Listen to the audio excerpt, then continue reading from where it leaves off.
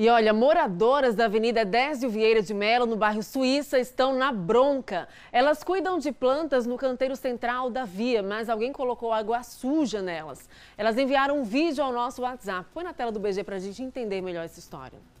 Veja aí, gente, que absurdo. A gente bota a planta no canteiro da avenida para o canteiro da avenida ficar mais bonito e a pessoa joga lama de esgoto nas plantas.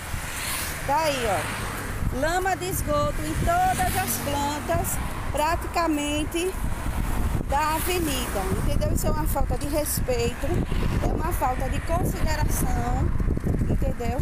É uma imundície, essa pessoa é imunda e irresponsável.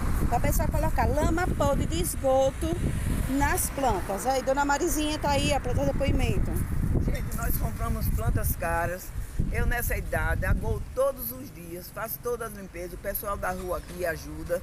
Agora vem um irresponsável, gente imundo que era para morar nem sei aonde, no inferno, chega, limpa a limpeza de caixa, da, da caixa de esgoto, pega lama podre. As plantas estão podres, de lama de esgoto e, e coloca.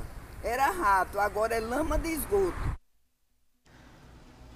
Pois é, que falta de bom senso, né? Tão bonito esse trabalho que as moradoras realizam de deixar o canteiro mais bonito, cuidando das plantas, cuidando da biodiversidade, inclusive do meio ambiente. Então, não faz isso, isso não é coisa que se faça.